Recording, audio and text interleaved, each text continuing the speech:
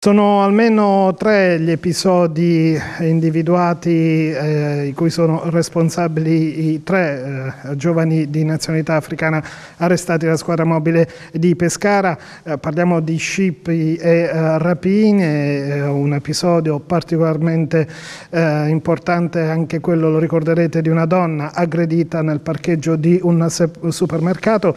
la squadra mobile è riuscita a individuare e arrestare i tre soggetti, sono tutti e tre di eh, nazionalità africana. Gianluca Di Frischia, capo della scuola mobile di Pescara. Sì, è stata un'indagine, sono state più indagini in verità che poi sono confluite in questa misura cautelare emessa dal, dal GIP di Pescara. Eh, in cui sono stati contestati agli indagati tre eh, eventi di rapina commessi per le vie della città.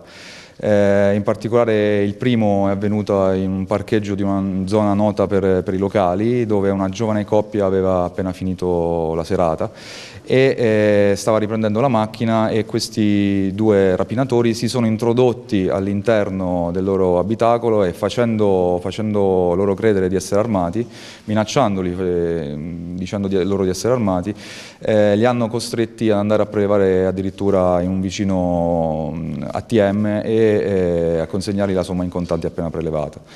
Eh, in un altro episodio invece avvenuto durante le, festività natalizie è stata eh, aggredita appunto una signora in un parcheggio, è stata bloccata e poi rapinata del, del telefono e di una somma in, di denaro e eh, il giorno successivo addirittura eh, la vittima è stato un giovane, un giovane, straniero che stava facendo compere in centro che da dietro è stato fatto cadere a terra, è stato aggredito appunto e ha subito la rapina di un'importante somma in contanti. Era il suo stipendio?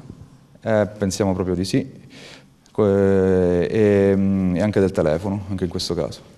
Eh, I tre insomma, avevano precedenti, erano noti alle forze dell'ordine, insomma, eh, per il momento potrebbero essere responsabili anche di altri episodi o state indagando?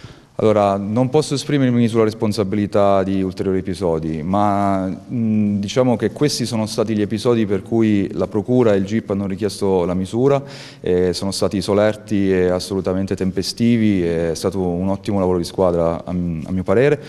E, mh, noi indaghiamo su tutti gli episodi che sono stati commessi in questo periodo.